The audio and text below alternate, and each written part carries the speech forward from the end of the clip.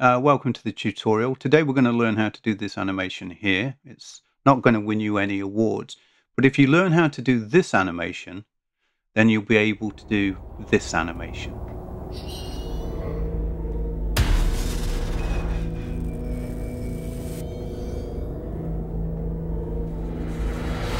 Now to do this animation you will need uh, three images, a background, foreground, spaceship, that kind of thing. Um, I downloaded these off uh, Pexels. I'll leave links to it uh, below. Uh, once you've downloaded them, make sure to resize them to fit 1920 by 1080 and save them out as PNGs as they tend to animate better within DaVinci Fusion. So let's get on with it. So once you've finished editing your photographs, uh, come back into DaVinci Resolve and import all your media which I've done just here on the left. And we're going to take the desert image here and drag it into our timeline. And we need that to be about 24-25 seconds long. So we can actually just right click on it and change clip duration to 20, we'll, set, we'll make it 25. There we are, got a 25 second clip. If you don't have a timeline open, you can actually right click on the uh, uh, picture itself and go create new timeline using selected clips and it will bring up this window and just change the name to whatever you want it to be and just hit create and it'll create the timeline with the image already in there. We need to make sure this bar is actually over the uh, photograph and we need to go down here to where it says fusion and click on that. It'll bring us into here. The first thing you'll notice is that DaVinci Fusion has a nasty habit of renaming our clips. This is actually the desert just here and it's called it media in 1 we need to change that back. And how you do that is click on it hit F2 and let's just call it desert. Now we don't actually need the desert for the first part of this tutorial so I'm actually going to disconnect it from here and just move it down. What we do need is a particle emitter which I'm going to bring up here a particle directional force and a particle renderer like that. And we're going to connect that particle renderer to the media out. Now, if you don't see this toolbar here, you go up to the Fusion menu, make sure Show Toolbar is selected with that little tick and it'll, it'll pop up like that. Another thing I need to point out to you in Fusion is um, you have the option of viewing two windows in Fusion. So for instance here, I can click the dot there and it puts in the left window. And on this media out here I've got it going to the right window. Just by using I'll just zoom that in. See those little dots there? So I can click that to the left window or to the right window. I'm just going to turn that off. I actually like just using one one window so I'm just going to keep it at one window. Now when we play the uh, animation back we notice that we don't have a lot of particles so let's fix that if you click on the particle emitter, this window should pop up here. If it doesn't, go to the inspector tab up here and make sure that's highlighted. So with the particle emitter selected, we're going to change that value here to 3000. And if we look at our screen, we've got loads of little white dots popped up. Unfortunately, they're going in the wrong direction. We need the particles to go up not down. And how we change that is if we click on the particle directional force here and go here, we see it set to minus 90. We need that to be 90. So let's just change that. And there we are. Got 3000 particles going up. Now the only problem so far, or the only problem with this, is that they're actually being emitted from a sphere. We need them to be emitted from the actual image itself. So let's go to our media, grab the building that you've chosen, good housekeeping, F2 rename it. And if I try and connect that building to the particle emitter by grabbing this, you'll see it won't connect. And the reason for that is we need to tell the particle emitter what region uh, we're going to emit the particles from. So if you go to the region tab just up here, I'll just pull that up, region tab just here and change it from sphere to bitmap. And what you'll notice is, is a yellow little triangle has come up here and we can now connect the theatre to it like that. And the particles have changed to match the shape of the theatre. The only problem we have now is, is the particles are still white and we actually need them to be the colour of the building. So clicking on the particle emitter, go to controls and where it says use style colour, we're going to change that to use colour from region. And as you can see, it's taken on the colour of the buildings. Now it's time to connect our desert image back in and the way we do that is we get this little uh, Pickwick here, I think that's what they're called, and we drag it out and we connect it to the particle renderer like so and it'll create a merge for us. If I hit play now you'll see that uh, uh, the screen is doing absolutely nothing. And the reason for that is the particles are actually coming into the merge as the background and the desert is coming in as the foreground. We actually need to swap that and it's actually quite easy. We just click on the merge node right click and hit swap input like that and our particles come in. We now need a second copy of the building and we're going to connect that to the merge uh, like so and Again, we need to hit F2 and correct the name on that. So let's hit F2. I'm going to call this Theatre 2.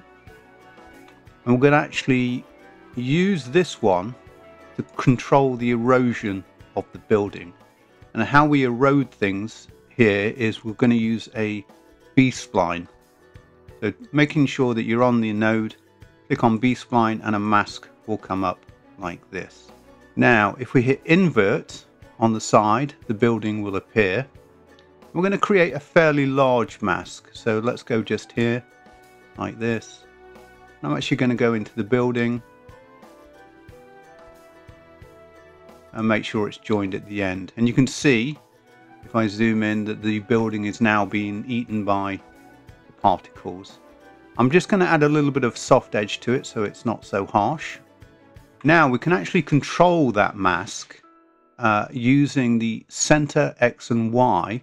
So if I hit the Y one, as you can see, as I go up and down, it actually gets rid of the building. So let's um, let's keyframe that. So we're going to go to frame zero, and we're going to go here. And you see that little diamond next to the Y there? We're going to click that, and then we're going to go to frame 180, and then we're going to move that all the way down like so and you'll notice this time it's automatically created a keyframe. Look at that, looking wonderful. Now the only problem that we have now is that the particles look a bit boring. They're going straight up and down and they don't look very organic. So we're going to fix that. So I've just dragged those nodes out by selecting both of them and hitting move. And you can move them like that. We're going to click on the particle emitter. We're then going to hit shift spacebar and type in the word turbulence. If we click on turbulence and go up to this window on the right, let's change these values to 0.2, 0.2, 0.2 and 50. And what you'll notice now is that when I play it back, the particles are looking a bit more organic. And now it's time to bring in our UFO. So if I go over to our media pool here and just click it and drag it, and again it's changed its name. So F2 I'm going to call that UFO like that. I'm going to take the Pickwick or this line or whatever they call it and I'm going to connect it into the media 2 like so. And the first thing that we notice is it's absolutely ginormous and we need to change that. And how you do that in um, Fusion is if we click on it and then go over to here and hit transform it'll automatically connect it to the chain. I'm just going to show you that again. So click on the UFO, go across to here, it transform and it connects. If you don't have the um, UFO highlighted like this and hit transform, it'll bring it into its own little space like that. And the way you connect it is by holding the shift key. We bring it over here like that. You see the line changes color. If we let go, do it again. Mouse is being weird. You can see that it actually connects like that. So we're going to resize it to about out there. And then using the X and Y center up here, what we're going to do is we're going to put it in position like so. Now we need the UFO to come on at frame zero and be in position by frame 40. So we're at frame 40 here on the timeline. So I go up to the center X and Y and just hit the little diamond to create a keyframe. We want it to be there for roughly 200 frames. So we go to frame 200, go back up to the center XY and hit that diamond again. And so now it'll keep in that position between 40 and 200. And now if we go to frame zero, using the X, we can actually move it straight off screen. Hope you can see that. Now if I play the animation, our UFO comes in, slams into position, and all the particles go into it. Now I don't actually like the way that it goes into position. It's, it's very abrupt and we can actually control that uh, quite simply. We go to the UFO transform here, actually let's rename that as well and hit F2 call it UFO trans. If we go up to this window here where it says spline, let's just click on that. It's a bit messy, so what we'll do is we'll just close down all these little windows here, and there's our UFO trans, and if I click on it, nothing happens. And the reason for that is we need to click on these two little arrows here that say zoom to fit, and there we are, there's our keyframes. Now, select both these keyframes here, and on your keyboard hit the letter F as in Frank. And there we are, we get some nice soft keyframes like that. And we hit spline to get rid of it. And now when we play the animation it comes in a lot smoother. Now I don't particularly like the color of that UFO so let's fix that problem as well. And the way we do that is we're going to select these two nodes push it up a little bit so give us some space I'm going to click on the UFO trans shift spacebar and this time I'm going to type in CC color corrector just here and we're just going to add that. And with the color corrector highlighted, let's go over to the right hand side and we can start playing around with the hue and the uh, saturation and the gain until we get something that we kind of like. There we are. I'm kind of liking that, so we're going to keep with that. Now, if we watch the animation, we'll see that the um, the particles actually come through the top of the UFO. And obviously that's not very realistic. So let's fix that problem while we're here. And the way we fix that is if we go to the particle renderer, I use my middle mouse key to move up and down there. If we click on the particle renderer and then click here and add a, a mask to it, we can actually go up to the UFO. I'm going to make a big mask here just clean it up a little bit by touching those edges. And you can see that we actually now have the reverse. They're actually coming through the top of the UFO and we actually need them not to. So if we go over to the window on the right and hit invert, you'll see the particles now are coming up but they're not going through the top.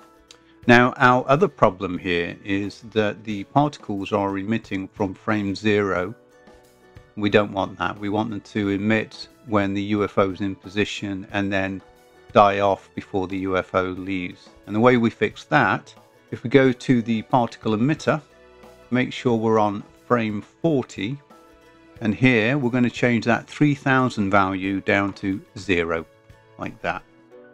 We're going to hit the diamond to create a keyframe. We're then going to go to frame 150 and we're going to create another keyframe. I'm going to change that value to 3000. So what will happen is no, no particles. As soon as the UFO hits its spot, particles start to spawn and they go up to 3000 by frame 150. We then need them to die out. So we're going to go to frame 180 and we're going to change that value to zero. Now if we play the animation, particles come in, blah, blah, blah, blah, blah. Get to frame 150. And then they fade out. So we now need our UFO actually to go off screen. So to do that, let's click on the UFO transform like that. We're going to go to frame 240. We're going to go up to the center X and Y and we're going to go to the X one.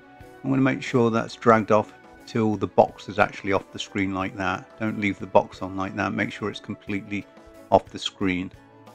And now when we play it, UFO comes on, gets to frame 200 and then vanishes off screen. So we're pretty much there. Now the next question is is how did I do that shadow on the uh, on the UFO? And the answer to that is I actually cheated and I'll show you how I cheated. What we need to do is copy these two nodes. Sorry, telling pork pies there. We need to copy these three nodes. Right click, go select them, right click, copy here, blank area paste. Just give ourselves a bit more space come up here, drag these nodes down, connect that into the merge like so. It will create another merge for us. And let's go to where the uh, where the spaceship is, so say frame 160 like that. So we now have two copies of the spaceship. If we go to the UFO transform here, and then on this angle value, if we change this to 180, we now have the same UFO but upside down. Clicking that UFO transform there, I actually just added another transform and then I moved its position all the way down like that. So it was uh, at the bottom of the screen. So now both of them come in, hit the mark, blah, blah, blah, go off. But we need to turn that into a shadow. And that's actually quite easy to do. Let's just bring it back to say one frame 60. So just click on the color corrector and take the gain all the way to black. And now we have a shadow. Not a brilliant shadow, but it's a shadow. So let's clean that up a little bit. Grab our nodes. What we're going to do is we're going to click on the color corrector node, shift spacebar, look up blur, and I just used a Gaussian blur here and add that to it. And as you can see, it's created a nice edge to it. So let's just increase that like so. Um, also, if you click on this merge, you can blend it into the background a bit more and also take down the uh, take it down a bit more so it's just subtle like that. And now if we go to the beginning, we have our nice animation. Now, I did do a mistake, a deliberate mistake on this animation, and that is at the end of the animation, the UFO goes in front of the tree. And my question to you is, how would I make it go behind? Let me know in the comments and I hope you enjoyed this tutorial.